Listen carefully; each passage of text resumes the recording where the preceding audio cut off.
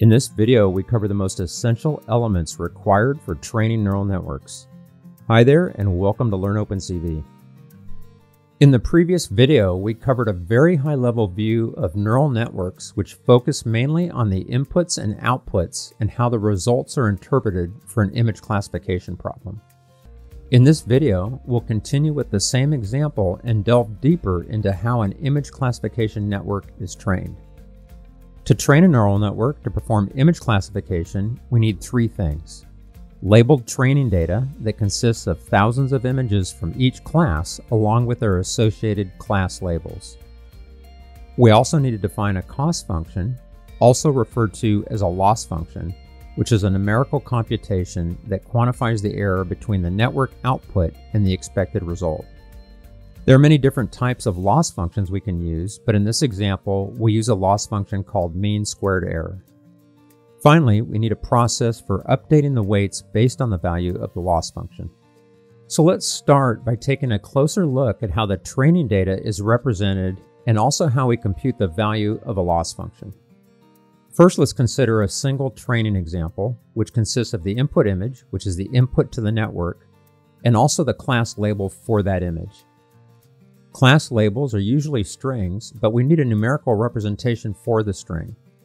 In this example, we have three different classes, so we can represent the classes numerically with a vector of length 3, where one of the entries is a 1 and the others are all zeros. So the vector 1, 0, 0 represents a cat because we define the first output from the network to represent the probability that the input image is a cat. Likewise, the representation for a dog would be 010, and for the third category, the representation would be 001. The particular order is arbitrary, but it needs to be consistent with the network design and the dataset. This kind of representation is called one-hot encoding and is a very common technique used to represent class labels. The labels for the training data are often referred to as the ground truth and are typically set to a variable called y. Notice the output from the network consists of three floating point numbers between 0 and 1.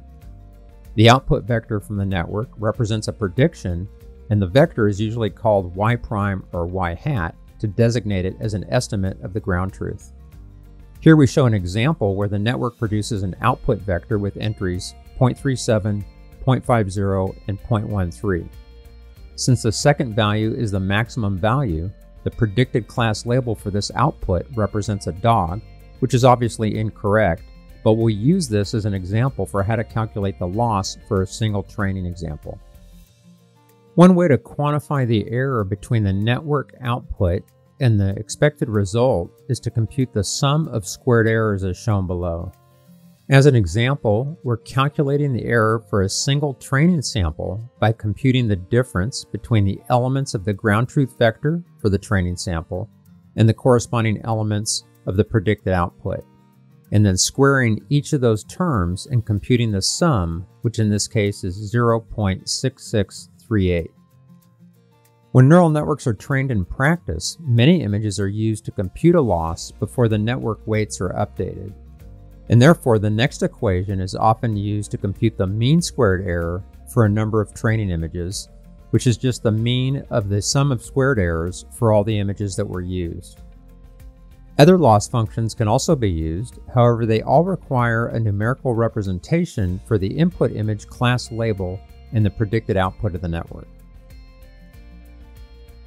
Now that we have some idea for how to represent the error between the input to the network and the expected output, we can start to think about how we can use that information to train the network. Fortunately, there's a principled way to tune the weights of a neural network, which is called gradient descent. For simplicity and visualization purposes, we're going to illustrate the concept with just a single tunable parameter called w, and we're going to assume that the cost function is convex and therefore shaped like a bowl as shown in the figure. The value of the cost function is shown on the vertical axis, and the value of our single trainable weight is shown on the horizontal axis.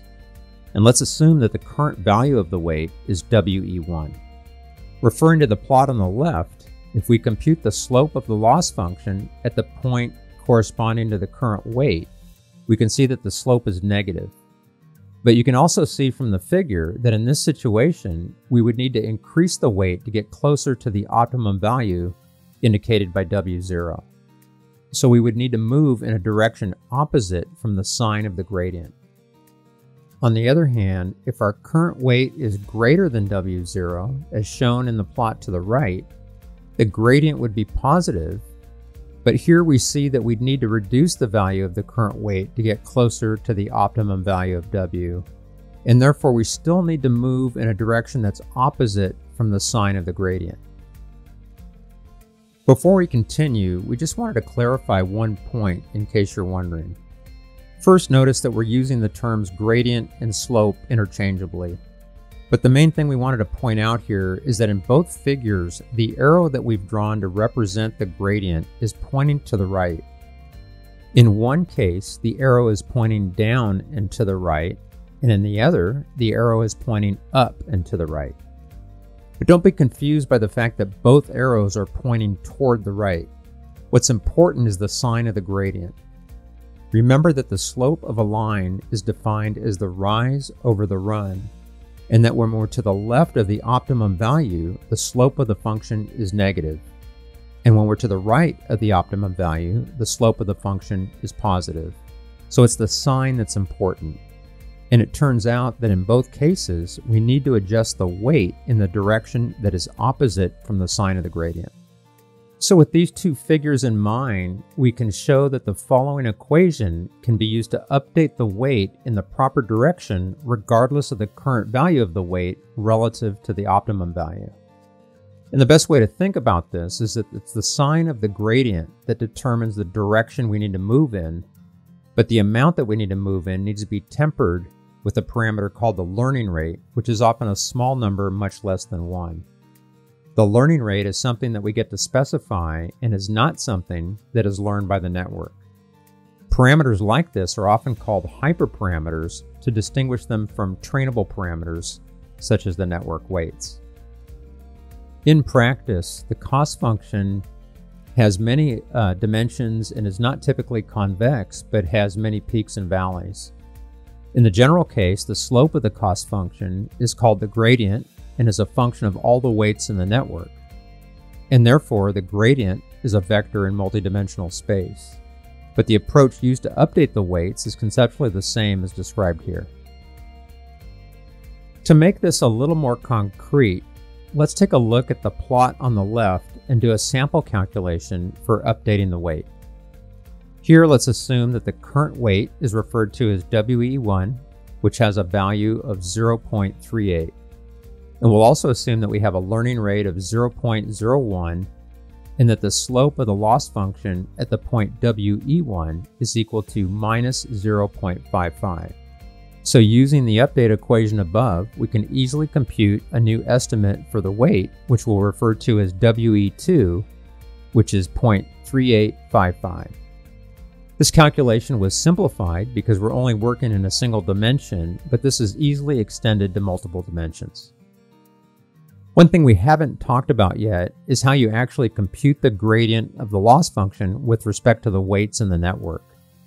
And fortunately, this is handled by an algorithm referred to as backpropagation, which is built into deep learning frameworks such as TensorFlow and PyTorch. And so it's not something that you need to implement yourself.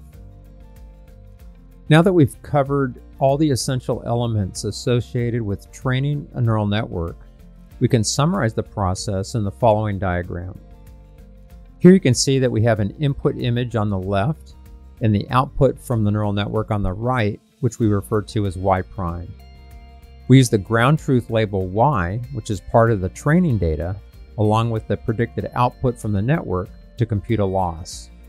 And notice that we don't specifically show multiple outputs from the network, but it should be understood that both y prime and y are vectors whose length is equal to the number of classes that the network is being trained for. After we compute the loss, we can compute the gradient of the loss with respect to the weights, which can then be used to update the weights in the network. So this is a nice way to summarize at a very high level the process for training a neural network.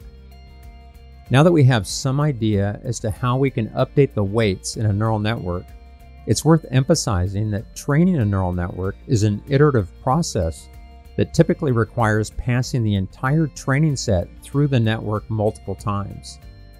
Each time the entire training set is passed through the network, we refer to that as a training epoch. Training neural networks often requires many training epochs until the point where the loss stops decreasing with additional training, as you can see in the first plot below. It's also very common to plot training accuracy, and as you might expect, as the loss decreases, the accuracy tends to increase as shown in the second plot. There are many important details associated with training neural networks that we haven't covered in this video. But as we progress through this series, we'll continue to introduce more advanced concepts on this topic. Now that we've covered the process for how to train a neural network, it's worth talking a little bit about what we're going to do with it. Once you have a trained network, you can supply it with images that haven't yet been classified and use the network to make a prediction as to what class the image belongs to. This is reflected in the diagram below, and notice that at this point we don't require any labeled training data. All we need are images with unknown content that we wish to classify. Before we conclude this video, we just wanted to summarize some of the key points that were covered.